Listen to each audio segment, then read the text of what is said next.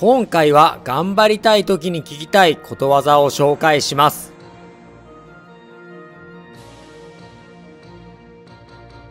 鉄は熱いうちに打て。教育や鍛錬は若いうちにするべきである。また、物事は情熱があるうちに着手するべきで、好機を逸してはならない。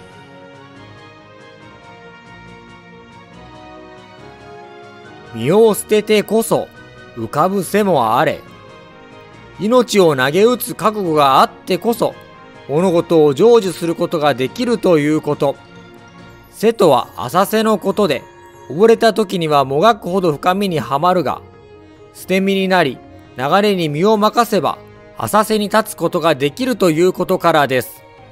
人も欲を捨て、天命に委ねれば、道が開けることもあるという解釈もあります。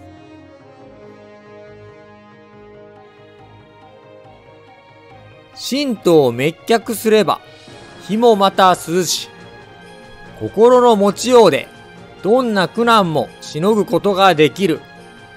神道とは心のことで、心から雑念を払えば、火さえ涼しく感じるということから来ています。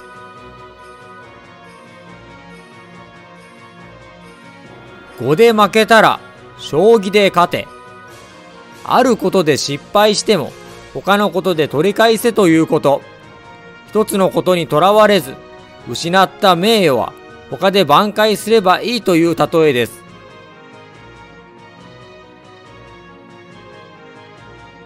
あたわざるにあらず、せざるなり。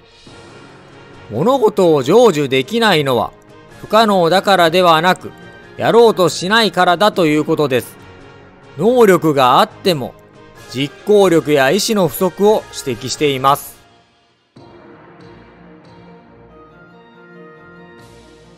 捨てる神あれば、拾う神あり。世の中は一方で見捨てられても、他方で助けてくれる人が出てくるものだ。世の中は様々。不運なことがあっても、悲観しなくていいと励ます言葉です。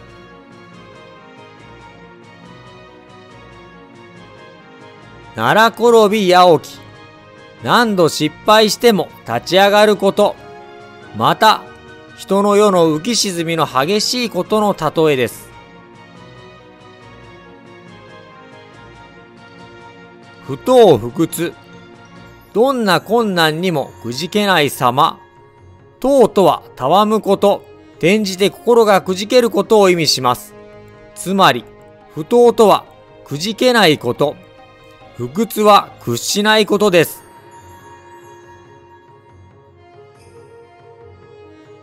急すれば通ず。絶対絶命の状況まで追い込まれると案外道が開けるものだということです。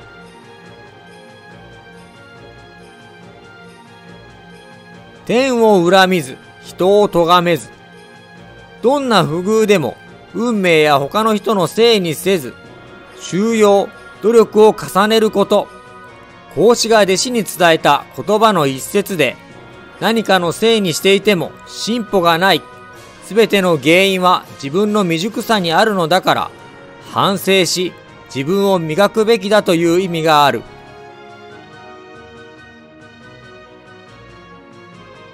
杖にすがるとも人にすがるな。他人に依存してはいけないということ。他人を当てにして自分の努力を忘れてはいけないという戒め。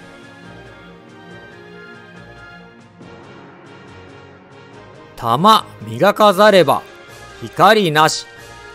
優れた素質や才能を持っていても、学問を積んで努力し、自己鍛錬しなければ、進化を発揮できない。どんな宝石も原石のままでは、美しい光を放たない。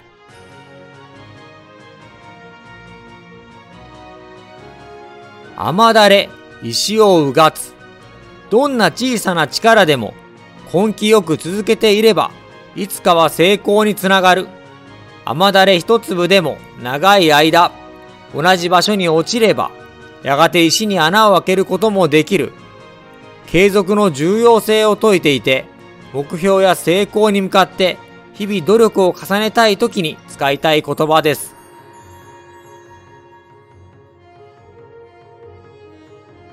念力、岩をも通す。一心不乱に念じて行えば、どんなことでも成し遂げることができる。強く思うことで生まれる力があるということを表しています。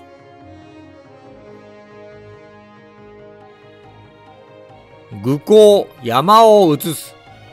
志を持って努力を続ければ、大きなことも成し遂げられる。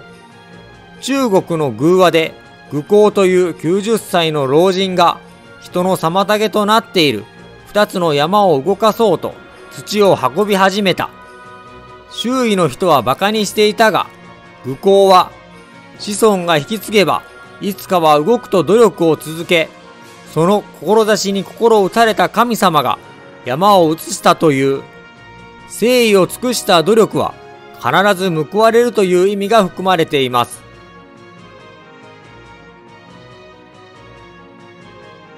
ドバ十が、才能に乏しいものでも、絶えず努力すれば、才能ある者と肩を並べることができる。ドバは鈍い馬で、名馬が1日で走る距離を土場でも10日走ればたどり着ける。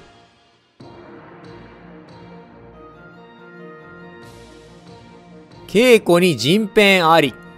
物事の習得に必死で取り組めば、実力以上の境地に達することができる。人偏とは人知を超えた不思議な変化のことで、ここでは天才的な能力のことを言っています。また、人の能力に限界はないとの意味も含まれています。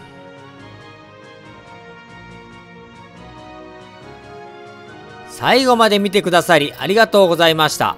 感想をコメント欄でお願いします。今回は頑張りたい時に聞きたいことわざを紹介しました。今回は以上になります。それでは次の動画までさようなら。